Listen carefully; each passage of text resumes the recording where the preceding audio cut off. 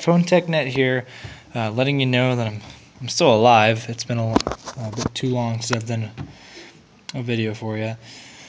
College does some crazy things, and unfortunately, you know, I've, I've had to sacrifice a couple things, and, and uh, this this project of mine, uh, unfortunately, was one of the things I had to you know, sacrifice, or had to be sacrificed for the sake of my time and, uh, and grades and, and financial whatnot. So um, anyway, I come to you bringing the February, what is today? February 18th uh, CyanogenMod 10.1 uh, build for my Verizon Galaxy Note 2.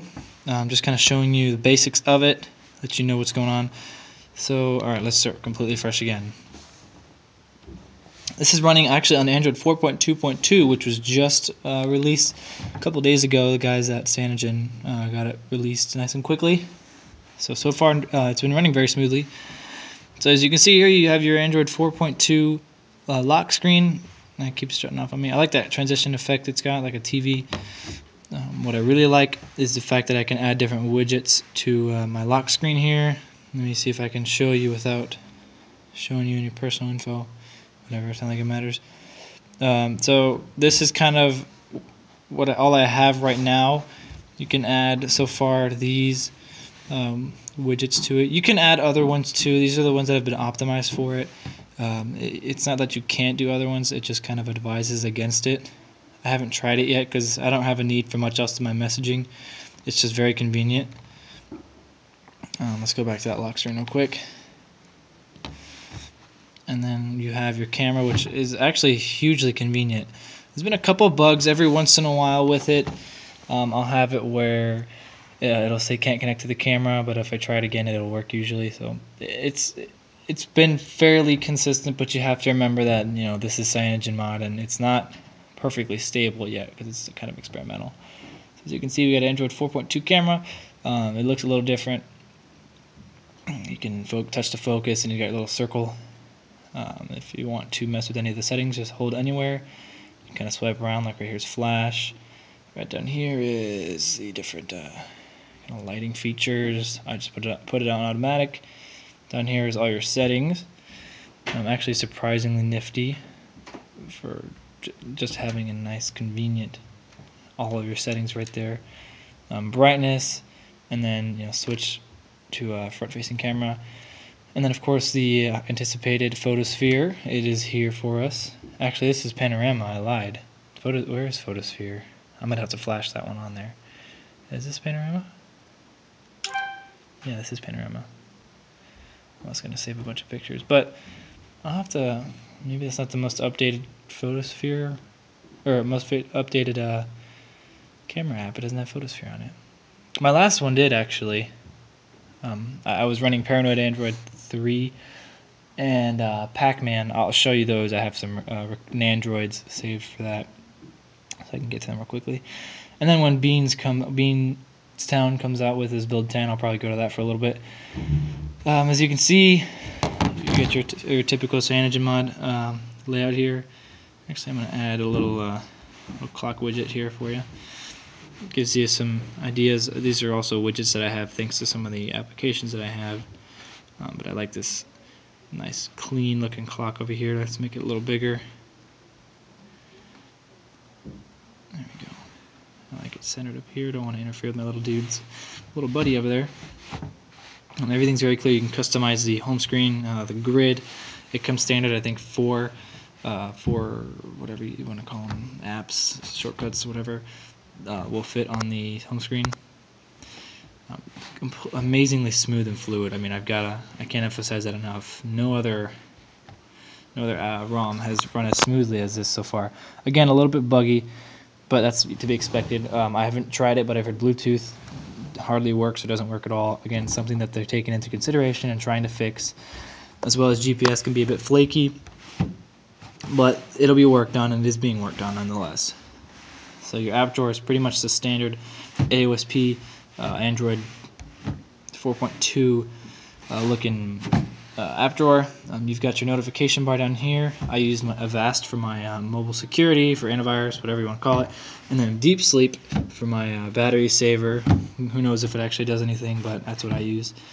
And then obviously your clock, you can go over here. I forget exactly what this is called, but I really do like it. It's quite convenient. One thing that CyanogenMod put in there, um, I don't know about recently, but within the past couple weeks, um, is a cool little feature where you can just swipe back and forth and you go between the two. Very convenient, believe it or not. And then, of course, two fingers to go there. Uh, let's see here. Messaging is your standard uh, 4.2 messaging. I'm not really concerned about my contacts like everybody else because you don't have the phone numbers, so I don't care. Uh, let's see. Standard phone. Standard contacts, you know, 4.2 looking. Uh, Chrome actually has been a little buggy with me, I gotta admit. Um, more frequently than I'd like to admit. And it's a little frustrating. I use stock browser and it worked just fine. Now let's go into settings a little bit and show you a couple things before I wrap this video up. On Wi-Fi, Bluetooth, data usage standard, your standard uh, NFC, all that stuff there, airplane mode, which you can actually access airplane mode via this screen here. Kind of hard to hold a camera and do this at the same time, but you can access open mode there. Uh, let's see, we'll get into the launcher now. Um, home screen, like I was saying, you can you know, change the grid of it. Uh, you can do you can do some customization with it. It's not a whole lot. CyanogenMod isn't necessarily about um, this customization. Uh, just mainly bringing you the stock Android feel, which it does very well. As you can see, it's running their Trebuchet launcher, um, which I really like. Thumbs up to you guys. Uh, lock screen, basically, you know, pretty much your standard stuff. Screen security. You can change your uh, shortcuts wherever they are. Uh, whatever. Basically, you can change the function of these. So which direction you see. Right now, I have a couple different ones. These are all the really all the ones that I use, so I leave them like that. Uh, let's see themes. Any themes that's compatible with uh, CyanogenMod 10.1, you would be using it right here. System, just a couple other basic uh, basic features. Uh, let's see, a clock, all that stuff. Power menu, notification light, hardware keys. Advanced, uh, it's it's there's not too much in here. It's a little bit with your LED and uh, colors, negative mode, haptic feedback, not too much uh, fancy stuff there. Performance, you can over underclock, over slash underclock your CPU, do whatever you want to do with that. Um, I choose to leave it alone for now. Uh, just it's running smoothly. I don't need to do anything with it. So I'll show you right now. It is running Android 4.2.2. Um, I'm running on the baseband i605 VRAL-JB, which is standard uh, standard baseband. Uh, let's see, kernel as you can tell, CyanogenMod, blah blah blah blah.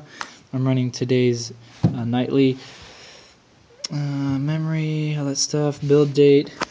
So pretty much standard stuff that you probably don't even care about. Let's see, you get your standard options there. Let me think. I think it's basically all I need to cover. Uh, it's really, it's not a very fancy ROM but it's not intended to be a fancy ROM. It's intended to be CyanogenMod. It's intended to be stock Android, and it does a fantastic job of delivering that. So, uh, you know, if any of you guys who have helped out on, on this uh, CyanogenMod project or Cyanogen project, um, I, big thanks from me over here. I really do appreciate your hard work and uh, time because, you know, most of these guys are, are do it out of their own, on their own free time, out of their own free will, and donations are the only, only thing that they get out of it and the satisfaction of knowing that it works. So uh, thanks again to you guys there. Um, I'm, I'm gonna start getting back into it. I'm gonna be linking all my uh, PhoneTechNet, uh, PhoneTechNet like alerts and everything to my phone. So I'll, I'll, get them right away. I do apologize if anybody has asked questions and I haven't gotten to you. Um, I will work on that. I promise you that. But aside from that, I think that's all I need to cover. So if there's anything in particular you want to know about CyanogenMod 10.1 on my Verizon Note 2, feel free to ask and I will do my best to show you. So for now, this is Peter here, signing off. Hope you enjoyed. I hope it helped you, you know, decide whether or not you wanted to uh, get it. One thing to note is that uh, with this, it is stock Android. It is note there are no TouchWiz features, so the S Pen is not necessarily rendered useless, but any sort of uh, things you would get with your TouchWiz ROMs are, are gone. Um, you don't get S Note, you don't get uh, AirView, you don't get the ability to hold the button on the S Pen, circle it, and then cut out that part. You don't get it. Um, I really wish you could, Uh, and with a 4.2 TouchWiz ROM, that will happen in time, but you have to give the developer some time because it's not an easy feat to accomplish. Uh, not as easy as porting over, uh, you know, 4.2 because there is no 4.2 TouchWiz uh, as of now, officially. So it's going to take them a little bit to develop that. Um, but anyway, that's one of the biggest things. Oh, one last thing. Battery life is absolutely awesome. Uh, I, I was using it. It was at 86% one, t- one time I checked this morning. And I went and checked probably a couple hours later. I was using it on and off, and it was down to 78-ish. So that, I think that's pretty good uh, by my standards. But anyway, that's all I have for real this time. So questions, hit me up. All right, guys. Peter here signing off. Later.